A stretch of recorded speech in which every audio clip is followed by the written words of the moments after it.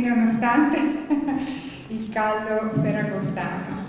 E dunque eh, siamo al terzo appuntamento collaterale di questa mostra dedicata a Paolo Caccia Dominioni che eh, devo dire con molto piacere sta avendo, riscontrando un forte consenso di pubblico, perciò la direzione della biblioteca mi ha eh, chiesto di prorogare la mostra almeno fino al 26 settembre. Quindi eh, per chi ancora non, non l'ha visitata o vuole visitarla meglio eh, c'è ancora tempo. Vi ricordo che la sala nella quale ci troviamo porta le opere dell'artista fotografo Claudio Saccari che ha fatto un tour nella nostra regione Friuli Venezia Giulia, nelle province di Pordenone, di Udine, di Gorizia e di Trieste, reinterpretando i luoghi della guerra col suo taglio, diciamo così, eh, da artista, da pittore del terzocchio, perché per esempio vi faccio notare quell'opera lì, quella fotografia a sinistra, che eh, rappresenta il fiume Isonzo eh, macchiato di sangue, no? questo è un effetto che lui naturalmente ha fra virgolette dipinto con il Photoshop. E, e poi eh, un po' più in là c'è una saletta che eh, raccoglie le opere di eh, molti giovani artisti del Friuli Venezia Giulia, sloveni e austriaci e per un immaginario che io ho voluto intitolare Cent'anni dopo rispetto all'immaginario artistico della guerra di Paolo Caccia eh, Dominioni. Bene, eh, abbiamo qui eh, oggi con noi un eh, personaggio veramente d'eccezione che è uno studioso, uno dei più importanti studiosi italiani eh, della prima guerra mondiale, con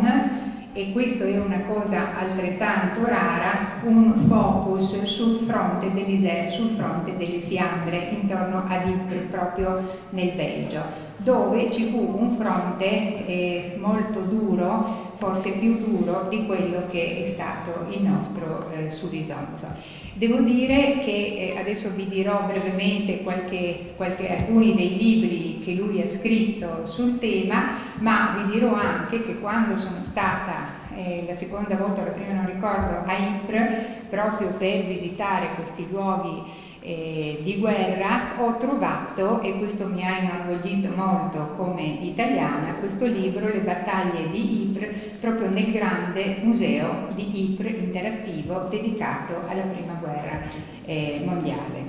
Dunque Alessandro eh, Gualtieri ha firmato i contenuti del volume 8 interamente dedicato alle donne della Grande Guerra ed inserito nella raccolta fotografica edita dalla Repubblica L'Espresso e che è in edicola dallo scorso 24 luglio, quindi lo potete trovare in edicola. Ed è inoltre autore del saggio La Grande Guerra delle donne, rose nella terra di nessuno, di cui poi eh, lui stesso vi parlerà, che è interamente dedicato alla condizione e all'emancipazione femminile nel primo conflitto mondiale. Dunque, Alessandro Gualtieri è presidente del Centro Studi Informatico La Grande Guerra e ideatore del sito www.lagrandeguerra.net e ha pubblicato numerose opere di successo in italiano e in inglese sul tema appunto del primo conflitto mondiale per la casa editrice Mattioli 1885. Tra queste la battaglia della Somme, Verdun 1916, le battaglie di Ypres sviluppati su una trattazione tematico-storica di quello stesso fronte occidentale che venne ricordato da Eric Maria Remarque, che io lessi nel tempo della giovinezza e riportandone un'impressione molto forte. E precedentemente dello stesso autore sono usciti per i tipi della Nord Press La Grande Guerra 1914-1918 eh, dal Piave alla prigionia, i musei della Grande Guerra in Italia e recuperanti. Inoltre Gualtieri nel 2012 ha partecipato all'Università di Oxford come oratore alla conferenza La Grande Guerra in Italia, rappresentazione e interpretazione. In cuor mio sono veramente, sono veramente riconoscente, così come lo sono nei confronti dell'organizzatrice, la dottoressa Cerboni, di questa mostra veramente unica e particolarmente pregnante, che ci permette appunto, come stavo dicendo prima, di parlare di prima guerra mondiale. Ebbene, le trincee, il bunker, il fango, le granate caricate a shrapnel, il sangue, la devastazione che inghiotte un'indicibile miseria subumana. Questa è la grande guerra, si tratta di immagini ormai sbiadite a un secolo di distanza, ma di storia contemporanea, tristemente nota soprattutto, come sappiamo, l'Italia nord-orientale, che visse un ruolo da protagonista in quell'inutile strage che fu appunto la prima guerra mondiale. Gli stessi avamposti, gli stessi, le stesse vestigia, gli stessi residuati bellici, così come gli stessi nomi dei fanti incisi su molti sacrari e monumenti nazionali, eh, si trovano sparsi in quasi tutta Europa, un'Europa fagocitata da quattro lunghissimi anni di guerra epocale. Ebbene, dopo Gorizia, Asiago e altre centinaia di realtà urbane intrinse del sacro coraggio e del sacro sangue italiano, in Belgio appunto c'è una città, la cittadina di Ypres, che vanta analoghi tristi record di caduti. Un milione e novecentomila vite spezzate nell'arco di quattro battaglie principali che videro l'esercito tedesco contrapporsi a quello britannico su una porzione particolarmente contesa di quel fronte occidentale di cui la dottoressa Cerboni ci parlava prima e ci parlò per primo eh, Maria Remarque. Ed è proprio con questa principale zona di guerra del primo conflitto mondiale che l'Italia trova delle inaspettate analogie, sia nelle sconvolgenti contabilità di morte violenta, inutile sottolinearlo, ma sia per quanto riguarda il percorso di istruzione all'arte della guerra che gran parte degli eserciti schierati dovette dolorosamente percorrere al fine di maturare nelle realtà contemporanee. E come sappiamo la storia ci ricorda fu necessaria una uh, rivisitazione, anzi qualche, un ripasso, una lezione di ripetizione a quella tragica esperienza durante la seconda guerra mondiale per sviscerare a fondo l'unica grande verità di qualsiasi conflitto, come aveva profetizzato una scrittrice, Sofia Bisi Albini, già nel 1914, gli uomini combattono e l'esaltazione del loro atto violento li fa dimentichi di ciò che sacrificano. Essi se ne sono andati, ma le donne sono rimaste. Quindi uomini e donne schierate su due fronti, donne schierate per assistere, non certo per combattere, o addirittura schierate sul cosiddetto fronte interno. Quindi donne e uomini furono protagonisti a 360 gradi della prima guerra mondiale, è importante sottolinearlo. Le due zone quindi di guerra che prenderemo in esame presentano numerose analogie, abbiamo detto, d'altra parte si parla dello stesso scontro.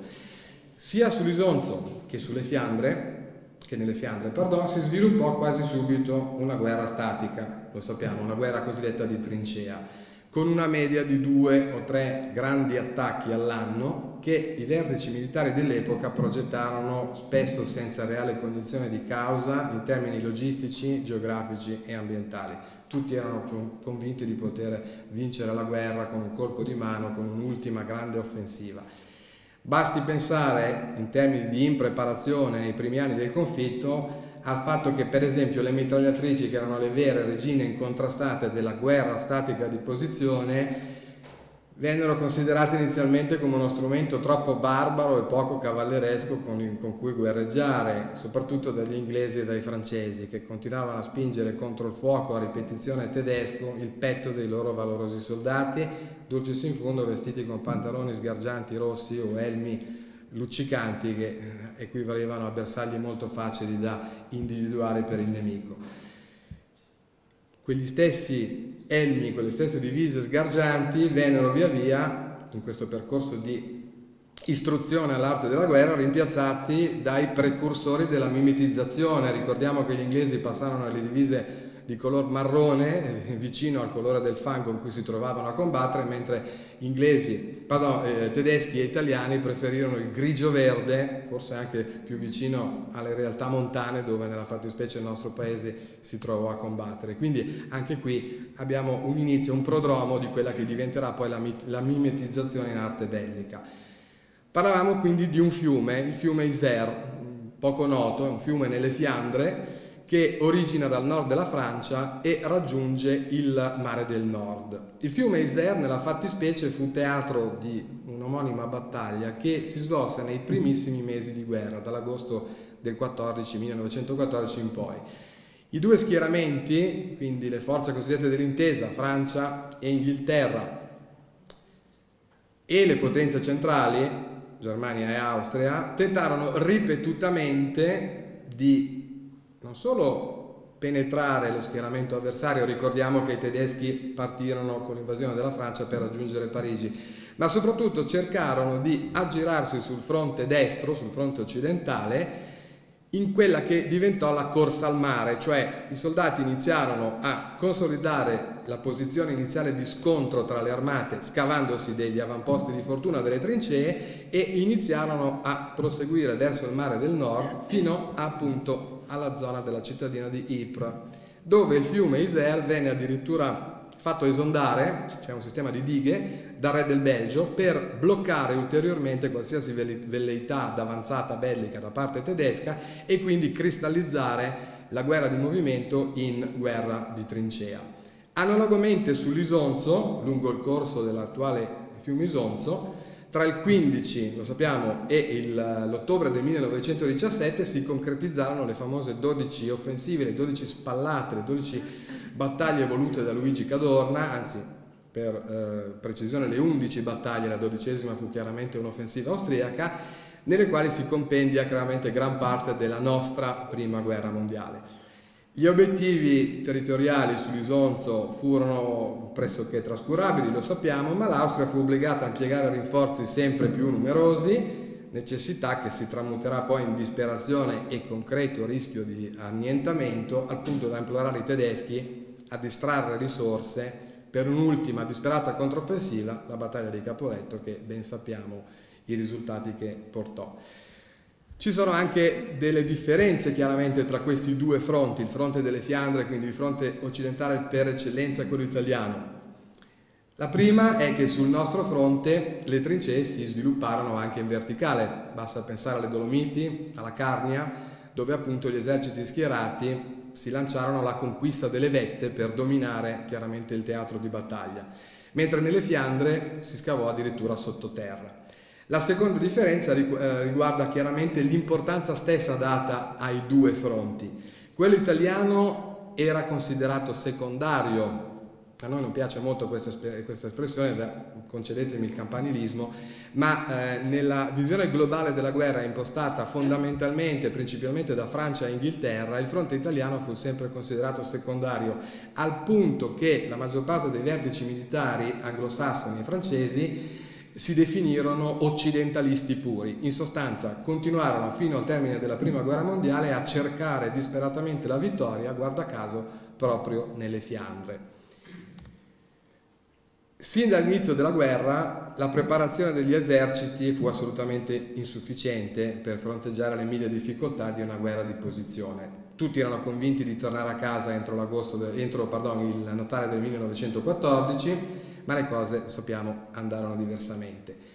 Gli unici che erano in qualche modo preparati a questa guerra statica e l'avevano in qualche modo messa in bilancio erano i tedeschi. I tedeschi già nel 1910, all'inizio del secolo scorso, avevano inviato delle spie, dei geografi, dei cartografi, dei militari del genio, travestiti da zingari, proprio nelle Fiandre, proprio nella zona di Ypres, per iniziare a fotografare e a valutare quelle che, quelle che erano le alture, i posizionamenti potenziali di truppe durante un attacco sferrato appunto ai danni di un Belgio neutrale per aprirsi la strada verso la Francia. Pertanto quando gli eserciti durante quella famosa corsa al mare che cristallizzò la linea difensiva fortificata in trincea si bloccarono appunto in trincea, lo fecero in modo totalmente diverso. I tedeschi riuscirono addirittura in poco tempo a realizzare dei bunker in cemento armato, ancora visibili nella zona di Ypres, Menen e quant'altro.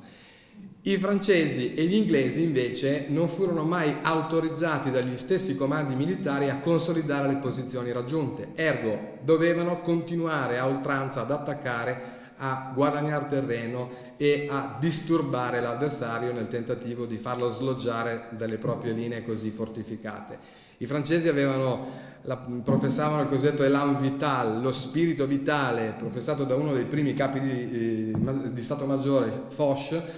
pardon, Joffre, che eh, spinse migliaia di soldati, come dicevo poc'anzi, con tanto di elmo luccicante pantaloni rossi di corsa o addirittura in carica di cavalleria contro le mitragliatrici ben appostate e annidate nei bunker tedeschi.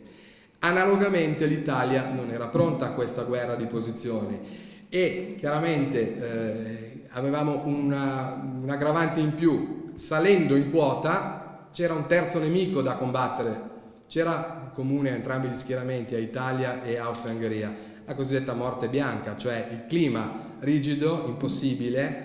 che non permetteva certo la vita degli alpini a 3000 metri con le divise estive che avevano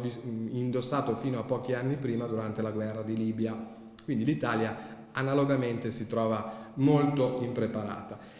Come infatti osservò Angelo Gatti, che era un graduato al seguito di Cadorna, non si riuscì mai a distruggere il terrore dell'arretramento tattico in Italia, così come sulle Fiandre, e ci si incaponì sempre a rimanere su posizioni estremamente infelici. Il saliente cosiddetto di Ypres corrisponde infatti a una specie di ernia che si protende all'interno dello schieramento tedesco, quindi facilmente attaccabile da tre lati, così come se pensiamo all'altopiano della Bainsizza, dove Luigi Cappello si assestò durante le ultime battaglie dell'Isonzo, abbiamo due posizioni altamente intenibili, altamente pericolose, anche se così protese all'interno del territorio nemico, da causare poi, lo sappiamo, dei fortissimi e devastanti contrattacchi da parte nemica. Ebbene, sia Cadorna nel suo famoso libretto rosso di ammaestramento tattico alle truppe, sia Douglas Haig, il suo corrispondente, ecco, corrispettivo capo di Stato Maggiore britannico, e poi dopo lui Foch, decisero costantemente di continuare ad attaccare. Nessuno, per esempio, aveva spiegato ai soldati italiani di restare accovacciati nelle trincee e non sporgersi. Le pinze tagliafili per eh, distruggere il filo spinato e aprire i varchi nei reticolati nemici apparvono molti mesi e molte, molte vite dopo. Le corazze farina che vediamo alle mie spalle altro non furono che un'invenzione che permise al costruttore di guadagnare parecchi soldini a fronte di una impenetrabile protezione per le truppe in trincea fatta di strati di cartone compresso e rivestiti da una pellicola metallica facilmente penetrabile dai colpi nemici. Ebbene, ci furono poi dei problemi di salute. I soldati in trincea nelle Fiandre erano costantemente esposti alle intemperie, quindi si trovarono molto spesso a fare i conti con la cosiddetta patologia del piede da trincea, dai reumatismi alle polmoniti alle infezioni parassitarie che iniziarono a riportare in massa. E anche qui gli inglesi non erano pronti, dovettero importare e distribuire in Europa grandissime, grandissime quantità di grasso di balena con il quale ungere i piedi dei soldati in modo da cercare in qualche modo di impermeabilizzarli. Gli italiani analogamente abbiamo visto gli alpini non avevano le divise atte a sopravvivere ad alta quota, così come non avevano neanche sufficienti tende da campo e quelle poche che avevano si inzuppavano di pioggia anche al primo piovasco. Analogamente si dovette far fronte chiaramente a una produzione bellica di tipo industriale, ma tutti gli uomini, come sappiamo, erano stati richiamati immediatamente alle armi e spediti al fronte. Ed ecco che le donne quindi entrano in gioco. Lo entrano in modo abbastanza coatto, se vogliamo, perché sono istituiti dei comitati di mobilitazione nazionale che esortano gli industriali dell'epoca a rimpiazzare i buchi che si sono formati in fabbrica, nella fattispecie nelle fabbriche di munizioni negli opifici, con le donne, cosa che mm, non va molto uh, giù agli industriali, non va molto giù ai misogini e ai ginecofobi dell'epoca che vedono le donne come angeli del focolare e poco più, ma gioco forza anche qui le donne vengono inserite in fabbrica perché devono assolutamente coadiuvare e supportare lo sforzo bellico producendo soprattutto armi e munizioni. Una cosa che a me eh, crea ancora oggi particolare angoscia è che dopo migliaia di libri letti sulla prima guerra mondiale si fa fatica a ricordare o almeno a trovare traccia di quante donne sono morte in fabbrica. Perché le donne che entravano in fabbrica, per esempio quelle inglesi, molto spesso venivano soprannominate i canarini perché la loro pelle diventava molto presto di colore giallastro, si intossicavano maneggiando polvere pirica e sostanze chimiche particolarmente aggressive, morivano, quindi le cosiddette morti, bianche contemporanee, ma ripeto, la storia che prevalentemente viene scritta non solo dai vincitori, ma dai vincitori di sesso maschile, fa ancora fatica a ricordare che molte donne quindi iniziarono a perire durante i primi mesi, i primi anni di prima guerra mondiale, non perché imbracciarono un fucile, ma perché aiutarono come minimo i propri uomini nello sforzo bellico entrando appunto in fabbrica. Quindi sul fronte eh, occidentale, il fronte di Ypres, così come poi a diaspora, diciamo su tutti gli altri fronti della prima guerra mondiale, ci fu eh, la comparsa di quelle che oggi ahimè conosciamo come armi di distruzione di massa. Prima fra tutte quella dei gas nocivi, gas letali, che furono sviluppati dai tedeschi per la prima volta, nella fattispecie della Bayer, e sperimentati proprio nel saliente di Ypres nelle Fiandre il 22 di aprile del 1915. Si trattava di, di uh, gas al cloro che colse completamente impreparate le truppe inglesi e canadesi schierate appunto sul saliente di Ypres, ne morirono chiaramente a centinaia e gli stessi tedeschi poi si resero conto che bastava che il vento soffiasse in direzione opposta per creare danni anche al loro stesso schieramento. Indipendentemente da questa difficilissima e pericolosa gestione dei gas, da lì in poi si iniziarono a sviluppare contromisure, i primi soldati urinavano nei fazzoletti e se li portavano al naso perché l'ammoniaca contenuta nell'urina riusciva in qualche modo a contrastare il cloro, poi i tedeschi svilupparono dei gas sempre più aggressivi, sempre più letali e la ricerca, la corsa alle contromisure, ergo le maschere antigas, rimase sempre un passo indietro rispetto a, quindi, a questa evoluzione chimica. I gas vennero utilizzati poi su tutti i fronti. Gli stessi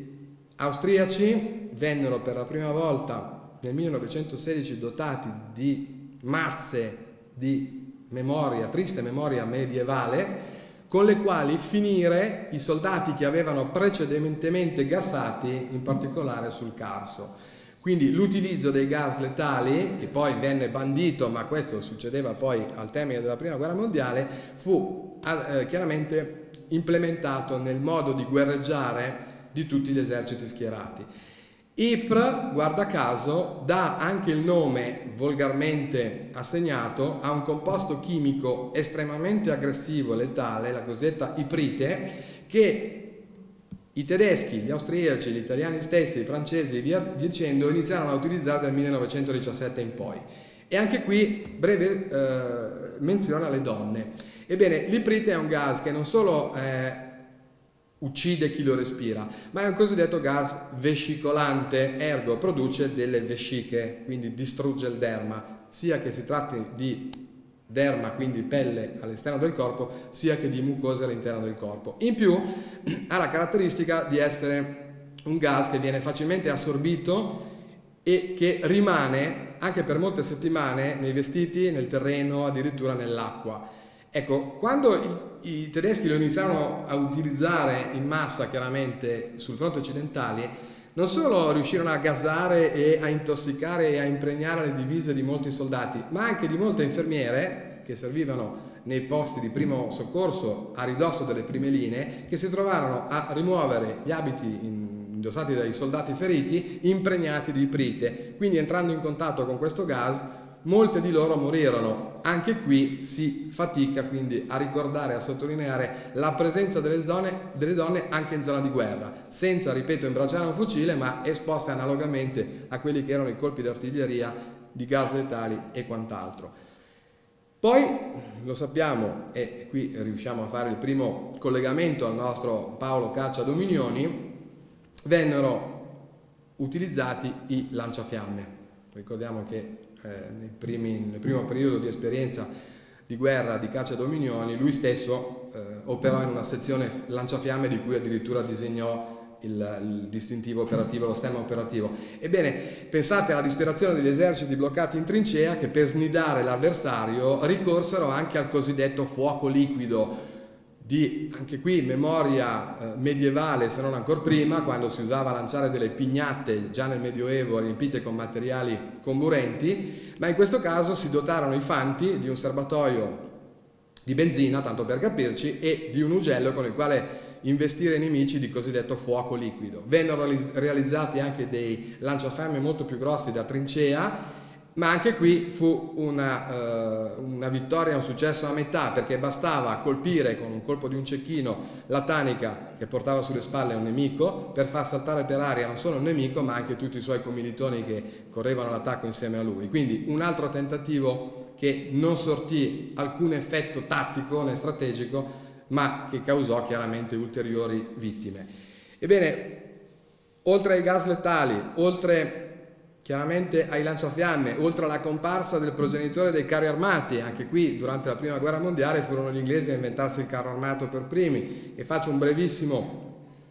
una brev apro una brevissima parentesi, i carri armati siamo abituati a sentirli chiamare tank, i tank britannici, i tank americani. Ebbene, è simpatico ricordare che la parola tank in un qualsiasi vocabolario inglese come prima significato dice serbatoio poi dice carro armato cingolato per la guerra da utilizzare in guerra. E fu proprio il comitato di sviluppo presieduto da Winston Churchill all'epoca, che studiò i primi prototipi di carro armato, che decise di battezzarlo cisterna per evitare che, qualora i piani segreti fossero caduti in mano nemica, i tedeschi avessero capito che si trattava di un'arma, avrebbero al più pensato che si trattasse di un serbatoio con il quale trasportare acqua alle truppe. Cent'anni sono passati, si parla ancora di bioterrorismo, se ne parla molto spesso, ebbene i tedeschi furono anche qui i primi sperimentatori del bioterrorismo in massa durante la Prima Guerra Mondiale. Recenti studi e indagini hanno portato alla luce eh, la figura di Anton Dilger, che era altro che una spia tedesca inviata a Washington che aveva ottenuto la cittadinanza americana qualche anno prima dello scoppio delle ostilità e che proprio nel suo laboratorio, era un chimico Dilger, di Washington, iniziò a sviluppare il bacillo dell'antrace.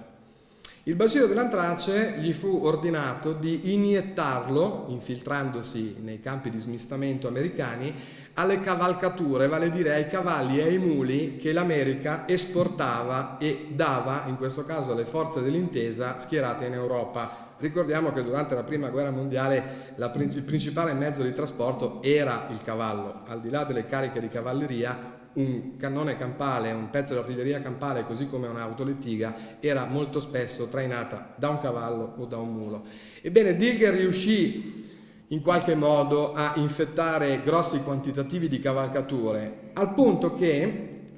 molte teorie abbastanza verosimili e supportate da dati eh, rilasciati, pensate un po', una decina di anni fa dall'FBI, ci parlano di un ultimo esperimento di Dilger andato male, ergo un'errata manipolazione di un virus influenzale destinato esclusivamente, come dicevo, agli animali, ma che una volta giunto in Europa, al termine della prima guerra mondiale, come ben sappiamo, verosimilmente si mutò nel cosiddetto, nel famoso virus dell'influenza spagnola, di cui fu vittima anche Caccia Dominioni, e per fortuna non ne morì, che decimò altri milioni di persone, soprattutto fra i civili, proprio dal 1919 in poi al termine della prima guerra mondiale. Quindi un tragico strascico di quella che fu la sperimentazione chimica e biochimica dei tedeschi disperatamente alla ricerca di riprendere la guerra di, movi di movimento e di sbaragliare gli avversari una volta per tutti. Come dicevo poc'anzi, sia sul fronte italiano che su quello uh, delle Fiandre, su quello occidentale, si scavò molto. Si scavò soprattutto, non solo per le trincee, ma per cercare di raggiungere le posizioni avversarie nel sottosuolo, riempire le parti terminali delle gallerie con dell'esplosivo e farle quindi deflagrare mandando eh, chiaramente all'aria le fortificazioni e uccidendo un gran numero di nemici. Ebbene, in Italia, come molti di voi immagino eh, siano a conoscenza, si scavò per esempio nel gruppo del Lagazzuoi, perché guarda caso la sommità del monte era presidiato dalle truppe austriache, per cui gli alpini scavarono delle lunghe gallerie, cosiddette gallerie di mina che riempirono di esplosivo e che una volta fatte brillare deturparono per sempre la facciata della montagna, in particolare il piccolo Lagazzuoi, che ci appare oggi come invece non appare in foto di cent'anni fa. Analogamente si fece nelle Fiandre. Nelle Fiandre non c'erano le montagne, pertanto si scavarono dei tunnel a una profondità di circa 30 metri sottoterra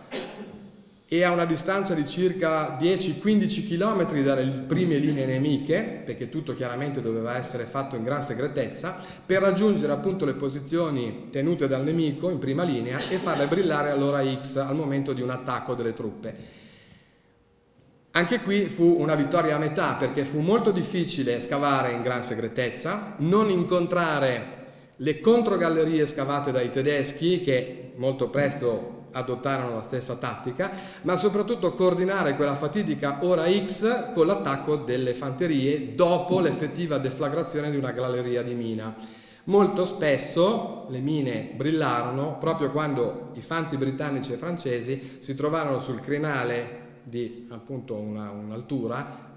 lanciati ormai inesorabilmente all'attacco delle prime linee tedesche. Il cratere che vedete raffigurato alle mie spalle misura circa 100 metri di diametro, risulta da un'esplosione di eh, decine e decine di chilogrammi di ammonal, un, un esplosivo molto potente utilizzato all'epoca,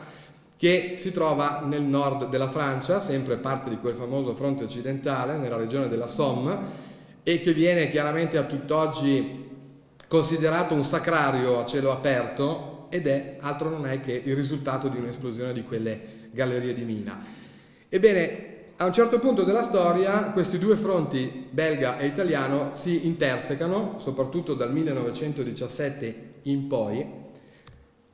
perché le forze dell'intesa e lo sforzo italiano vengono in qualche modo concertate tra di loro, sempre per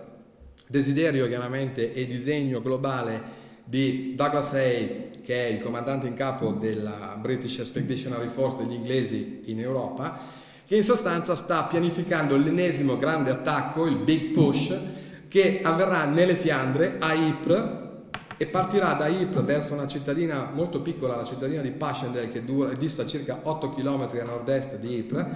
e che è previsto per l'agosto del 1917. Anzi, Haig vorrebbe già lanciarlo nel luglio del 17 e per fare ciò, pensate un po', ha persino considerato l'idea di impiegare dei mezzi anfibi abbastanza improvvisati per l'epoca per lanciare una specie di D-Day ai danni della costa belga in mano ai tedeschi. Ebbene, Cadorna si trova costretto a lanciare un'offensiva sull'Ortigara nel giugno del 1917 proprio per evitare che, tra le altre cose, i tedeschi si trovino costretti a mandare aiuti al fronte per supportare i loro alleati austriaci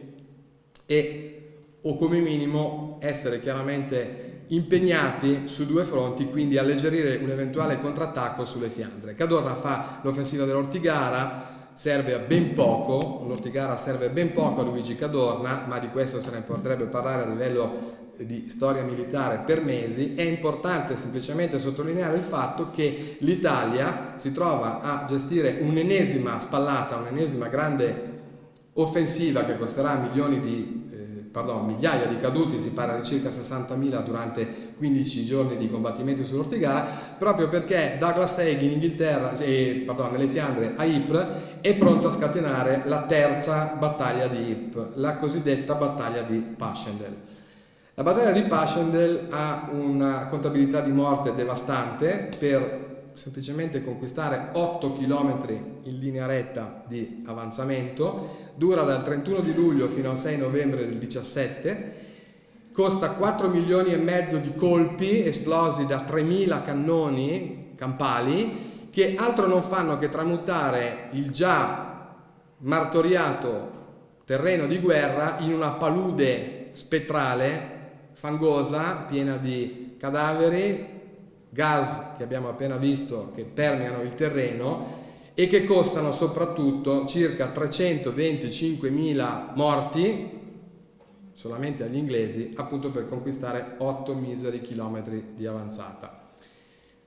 Sull'Isonzo, subito dopo l'offensiva di Passchendaele, ricordiamo che Cadorna bruciò circa 300.000 vite tra la decima e l'undicesima spallata, con l'unico risultato di spingersi, come dicevo poc'anzi, in un saliente molto pericoloso, soprattutto sulla Bansizza,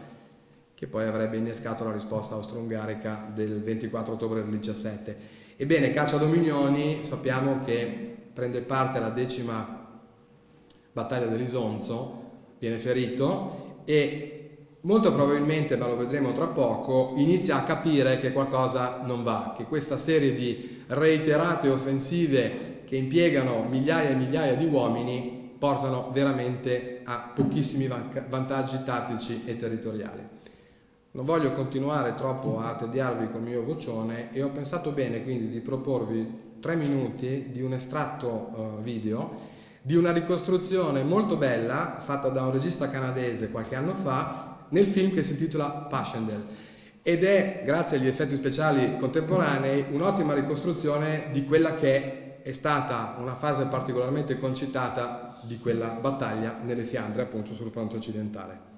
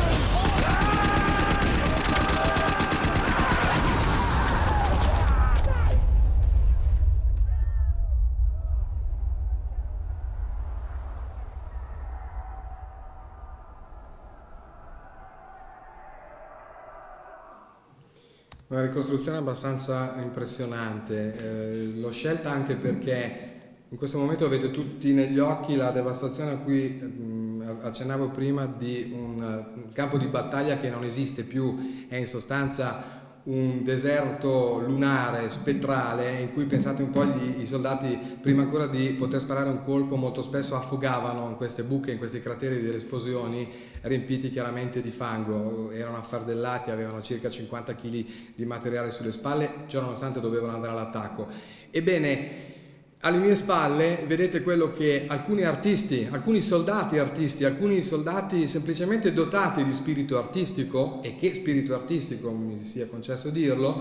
iniziarono a riportare sulle tele dell'epoca. Quello alla sinistra è Paul Nash, è un pittore inglese che servì proprio nella zona delle Fiandre a Ypres, fu ferito poco prima di un grande attacco, ma ritornò a Ypres dopo qualche mese di convalescenza e iniziò veramente a documentare, a fermare chiaramente sulla tela, sulla tela l'orrore e la devastazione dei campi di battaglia. Entrambe le immagini sulla mia sinistra, eh, sulla sinistra della, della, della, slide, si riferiscono proprio alla zona di Ypres, nella fattispecie quella in basso è la strada di Menen, cioè la strada che conduce da Ypres proprio alle prime linee. Ebbene, vedete che sulla destra abbiamo delle immagini meravigliose dei bozzetti di, del caccia dominioni nazionale che sembra quasi che eh, i due artisti si siano consultati prima che Dominioni o Nash eh, indifferentemente mettessero mano al pennello o al carboncino, semplicemente per il fatto che ancora una volta riportano l'analogia della condizione di vita subumana, della distruzione totale, di quella che all'inizio Paul Nash chiamò caos decorativo, ma che lui per primo, disilluso dalla guerra, iniziò a condannare in questo tipo di dipinti, così come fece lo stesso Dominioni, contro coloro che, cioè condannare come un atto di distruzione gratuita della natura, di tutto quello che circondava l'uomo, trasformando appunto l'ambiente di guerra in un paesaggio a dir poco spettrale. Entrambi, ripeto, erano dotati di eccellenti capacità artistiche, si trovavano, come dicevo, costretti a combattere su fronti analoghi, così tanto analoghi, sia a Ypres che sul Carso Goriziano, e la, guerra, la Grande Guerra non fa eccezione in, per quanto riguarda testimonianze che ci raggiungono dopo secoli di distanza in base a scritti, biografie, diaristiche, ma proprio grazie a Caccia Dominioni, a Paul Nash e ad altri artisti come per esempio Bruce Bernfather, abbiamo, eh, ci raggiunge in questo caso un tipo di istantanea che non è tanto una fotografia quanto un'istantanea dei sentimenti di chi la vede chiaramente e la vuole trasmettere ai posteri. È sempre il caso di Caccia Dominioni che lasciandosi per un attimo alle spalle la, la drammaticità e tutto l'orrore di quegli alberi, quelle radiografie di monconi d'albero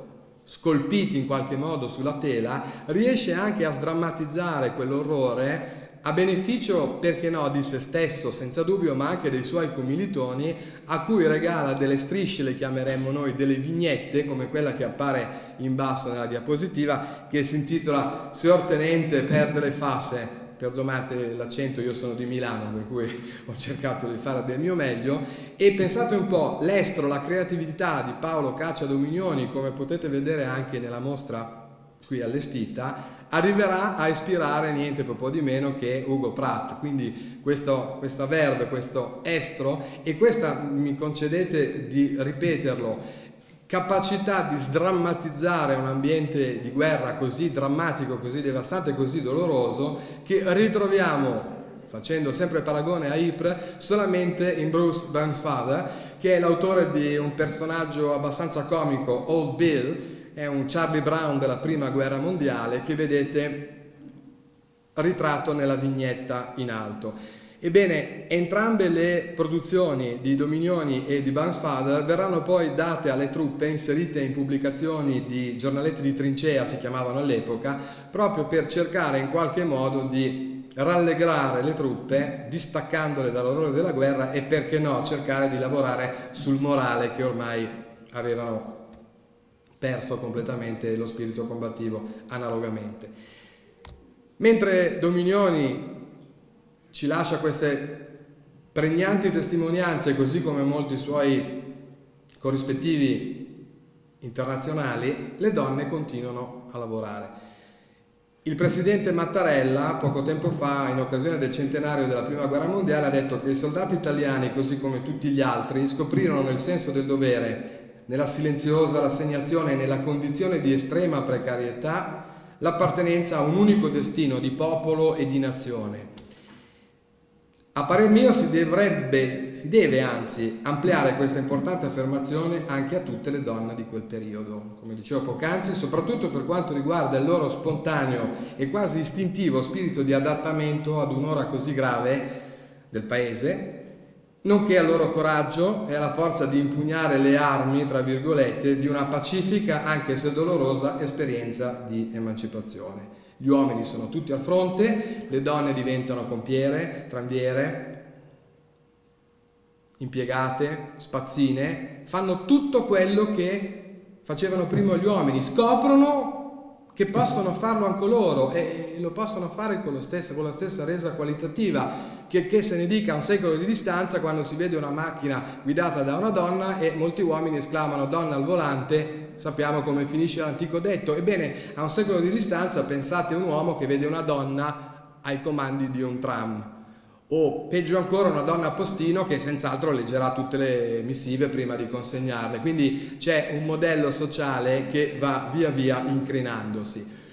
Se ne potrebbe parlare molto, lo faccio immodestamente nel mio saggio sulla condizione femminile di quel periodo, la grande guerra delle donne, ma una cosa che eh, ci tengo a sottolineare in questa nostra conversazione è la presenza delle donne a livello appunto di assistenzialismo infermieristico. Uh, dimentichiamoci il meraviglioso romanzo di Hemingway Addio alle armi perché come già vi ho anticipato i rischi di vita, i rischi letali a cui le donne in prima linea si espongono hanno ben poco da spartire con il feuilleton o le trame d'amore tessute con il bel soldatino nell'ospedale militare. Infatti scelgo due personaggi abbastanza importanti e rappresentativi di quell'epoca. Sul fronte occidentale Vera Britten, sul fronte italiano Elena d'Aosta. La prima, Vera Britten, è una ragazza di buona famiglia della borghesia britannica che all'inizio del primo conflitto mondiale vede partire per il fronte il fidanzato, il fratello, gli amici di studio e decide di arruolarsi come aiuto infermiera. Viene immediatamente mandata sul fronte occidentale e lì avrà modo di vivere in prima persona gli orrori di cui vi parlavo brevemente poc'anzi, tutti gli orrori appunto della guerra, i rischi che comporta servire in un ospedale militare al fronte e addirittura curare i feriti tedeschi, i feriti nemici, cosa che poche altre infermiere britanniche vorrebbero fare perché li identificano esclusivamente come coloro che hanno ucciso i loro uomini. Ebbene lì Vera Britten inizia a eh, maturare una sua cognizione di causa pacifista oltre che femminista, visto che incarna lo spirito di emancipazione forse tra i più alti di quel periodo e inizia a lasciare una serie di scritti che ahimè sono veri e propri best seller riconosciuti in quasi tutto il mondo, tranne che nel nostro paese, primi tra tutti Testament of Youth, che è il testamento di gioventù, in cui ci racconta addirittura attraverso la sua diaristica giorno per giorno la disillusione di una giovane ragazza della media borghesia britannica di fronte a qualcosa di più grande di lei che porta così tanti dolori. Ultimo tra quali la perdita del fratello Edward che cadrà fra l'altro in una trincea inglese ad Asiago dove lei alla morte decide di essere dispersa, le sue ceneri verranno disperse proprio sulla tomba del fratello che riposa nel cimitero di Granezza vicino ad Asiago. Vera Britten quindi ci lascia analogamente ad altri eh, scrittori e contemporanei delle, tes- delle, testimonianze scritte di getto molto molto pregnanti, molto toccanti, molto importanti di quel periodo, mentre Elena d'Aosta concretizza ulteriormente quella che è la presenza sul campo delle donne di quel periodo, perché Elena d'Aosta è un'aristocratica, lo sappiamo, è la consorte del duca invitto del, al comando della terza armata, guarda caso dislocata sul Carso. Ebbene, lei non se ne sta a casa ad aspettare, ma decide attraverso una capillare opera di ispezione e di riorganizzazione del servizio sanitario militare dell'epoca, di creare il corpo delle infermiere volontarie della Croce Rossa, di istruirlo al servizio attivo in zona di guerra e dulcis in fondo di proteggerlo da una pericolosa situazione di promiscuità che si va a creare nel momento in cui una donna arriva in prima linea insieme ai soldati. Se qualcuno di voi ha modo di ricordare questa chiacchierata la prossima volta vede, che vede una infermiera della Croce Rossa in divisa, dà un'occhiata alle mostrine, verrà delle stellette molto simili ai gradi militari conferiti agli uomini delle varie specialità, armate chiaramente, proprio perché fu Elena d'Aosta che diede i gradi militari alle proprie subalterne, che chiamava sorelle, per dividerle e proteggere, ripeto, dall'iniziale scherno che suscitarono tra i soldati al fronte. Un'altra cosa molto importante, Elena d'Aosta lo fece proprio qui nel Friuli, nel Friuli Venezia Giulia, dove non lesinò la sua presenza in ospedali, lazzaretti e zone contaminate da febbre tifoidi e infezioni spesso mortali, ne parlavamo poco fa quando abbiamo visto il piede da trincea e tutti, tutte le malattie a cui erano esposti chiaramente ai fanti. E non solo diede ordini scritti ben specifici proprio per riorganizzare il servizio sanitario e dulcis in fondo assegnare quello che ancora oggi è il sistema del triage che troviamo al pronto soccorso, il classico codice colore. In quel caso Elena d'Aosta lo assegnò ai soldati, cioè eh, istruì medici ed infermiere in base al criterio con il quale avrebbero dovuto soccorrere o meno i feriti in arrivo dalle prime linee. Se fosse valsa la pena curare un ferito per poi rispedirlo il, più possibile, il prima possibile al fronte, quello sarebbe stato la, prima, la, la priorità assoluta. Un ferito grave invece avrebbe dovuto molto probabilmente morire in un ospedale da campo perché proprio per continuare lo sforzo bellico si applicò questo sistema di selezione alla gravità chiaramente dei feriti in arrivo. Lo stesso sistema di selezione triage fu poi copiato dagli inglesi negli ospedali da campo Fiandre, nelle Fiandre, quindi vedete una concretizzazione ulteriormente non solo della presenza a livello di assistenza sanitaria, ma di creatività, concedetemelo tutta al femminile, applicata in zona di guerra. Una creatività che come ben sappiamo, una disponibilità e una professionalità che dobbiamo soprattutto a questa donna, che a tutt'oggi la Croce Rossa è in grado di offrire sia in tempo di pace che in tempo di guerra. Quando c'è un incidente, scusatemi il gesto, in autostrada, un grosso tamponamento, il sistema di selezione di triage viene a tutt'oggi applicato. Per fortuna al contrario, non ci sono soldati da rispedire in prima linea. Sono chiaramente degne di nota eh, anche le contadine, cioè tutte le donne che scesero nei campi per rimpiazzare gli uomini nel lavoro così importante atto a nutrire le truppe al fronte. Hanno infatti combattuto a modo loro anche le donne rimaste proprio al lavoro nell'agricoltura. Talmente efficienti nel svolgere le mansioni, le loro mansioni, che la produzione agricola di quel periodo, cioè del periodo bellico, non scese mai al di, del 90, del, al di sotto del 90% tra il 1915 e il 1918. Come vi dicevo poc'anzi, eh, le cose erano cambiate per sempre, i ruoli si erano incrinati, le donne erano, entrati, erano entrate nel mondo del lavoro come già citava eh, scriveva Ugo Ietti sul Corriere della Sera, strisciando e permeando qualsiasi aspetto, qualsiasi angolo del mondo del lavoro come dei bambini curiosi, dei bambini però molto capaci a livello di eh, operatività, ma soprattutto anche capaci di imparare dei lavori, dei mestieri, addirittura la professione medica. Ricordiamoci per esempio che Maria Montessori nel 1896 già era riuscita a laurearsi in medicina e negli anni 30 già era stato istituito in Italia un albo delle dottoresse laureate appunto durante gli anni della prima guerra mondiale. Quindi in quei lunghi e durissimi anni di conflitto le donne uscirono da un, una routine, come diceva un vecchio detto tedesco, che diceva casa, cucina e bambini, e riuscirono a dimostrare a se stesse e al mondo chiaramente il loro valore e il loro coraggio. Al termine della guerra fascismo per primo cercò di far rientrare nei ranghi la figura femminile quando chiaramente gli uomini o quei pochi che erano sopravvissuti alla contesa rientrarono chiaramente a casa, ma come vi dicevo poc'anzi l'equilibrio si era ormai rotto e questo fiume dell'emancipazione femminile ormai era traboccato, aveva iniziato chiaramente a fluire liberamente. Si parla di donne durante la prima guerra mondiale anche sdrammatizzando quello che è l'orrore della perdita di un marito, di un fratello, di un congiunto, di un figlio al fronte, ma per esempio citando quello che succede alla moda femminile dell'epoca. Alcune signore presenti fra di noi oggi indossano i pantaloni che sono pratici, sono belli, soprattutto sono comodi, sono di moda diremmo oggi, sono trendy. Ebbene, Coco Chanel i pantaloni, ricordiamo era una stilista, una stilista molto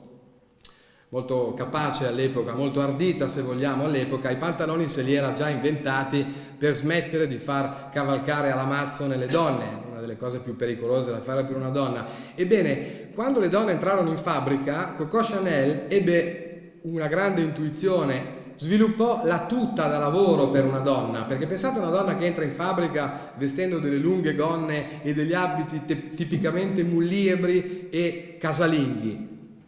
morti, altre morti bianche, altri incidenti sul lavoro che nessuno vuole ricordare, ma che accaddero al punto tale da stravolgere quello che era l'abbigliamento femminile di inizio secolo, della bella époque,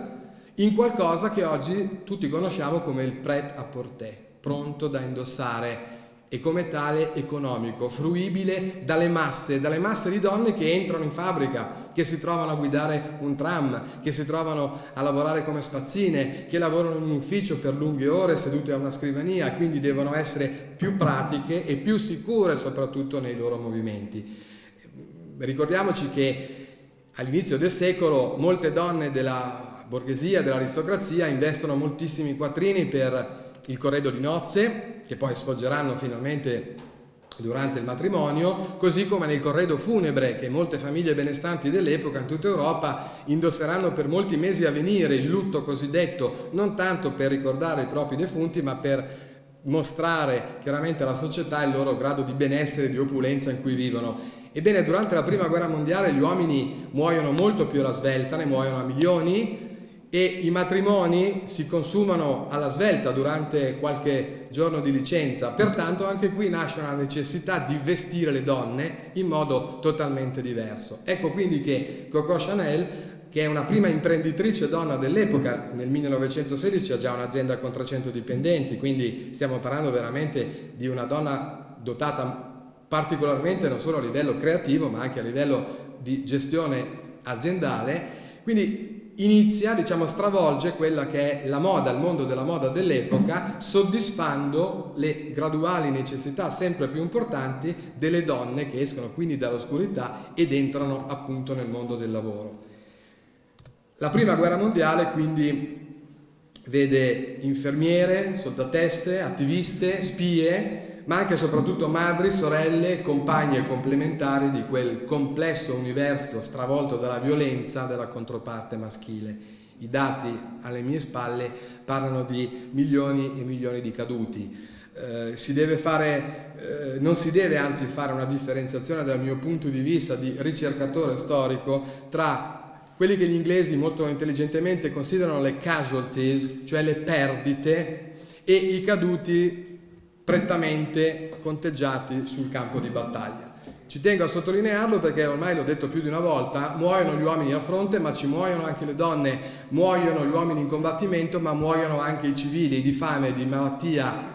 di bombardamenti. La Germania aveva gli Zeppelin che riuscivano a bombardare, riuscirono a bombardare molte città sulla costa orientale a sud dell'Inghilterra. Pertanto, indipendentemente da quelle che sono le eh, contabilità di morte pubblicate in ambiente esclusivamente militare, parliamo di un'Italia, di una Francia, di un Regno Unito e di una Germania che al termine della prima guerra mondiale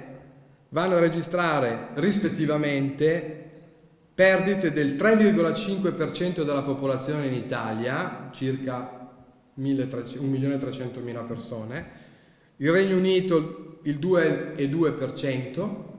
la Francia il 4,4% e la Germania il 4,32%. Le due nazioni, perché vi sta venendo la domanda, immagino che come vedete anche alle mie spalle, subiscono più pesantemente gli effetti della guerra sono in sostanza quelle che l'hanno voluta, Francia e, e Germania. Arriva poi il Regno Unito, arriva l'Italia, che come vi dicevo è un fronte secondario,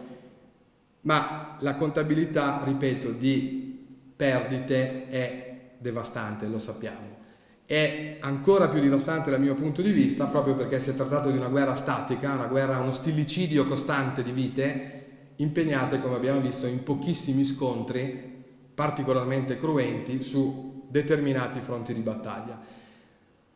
Oggi, quando tutto almeno in Occidente appare più semplice,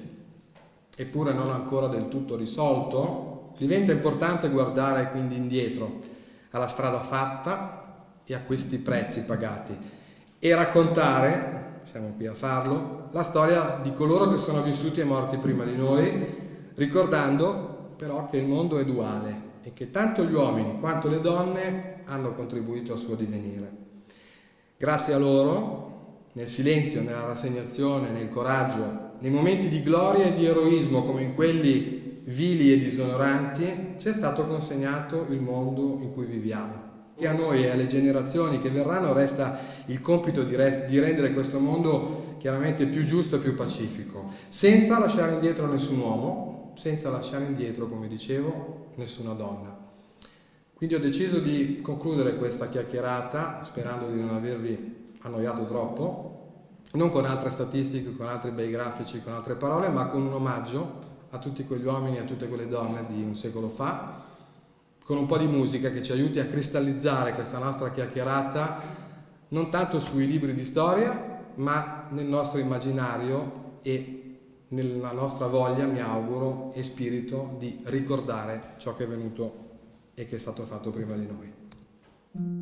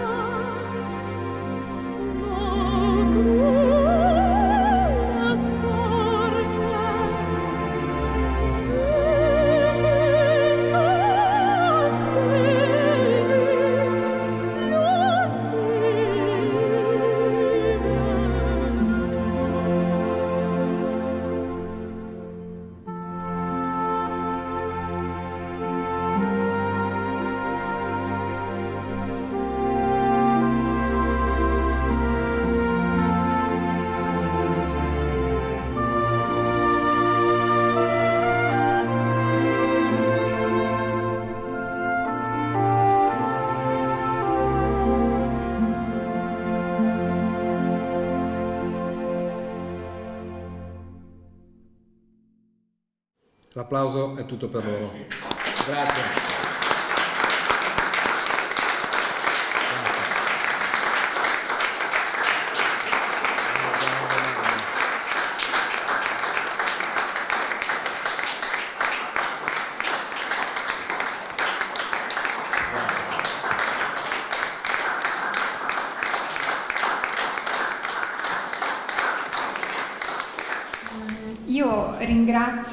Questo nostro ospite che credo veramente eh, sia stato così profondo e come accennavo prima così sensibile. Sono No, notevole. Vero? Sì, grazie, è troppo buono. Grazie. Insomma,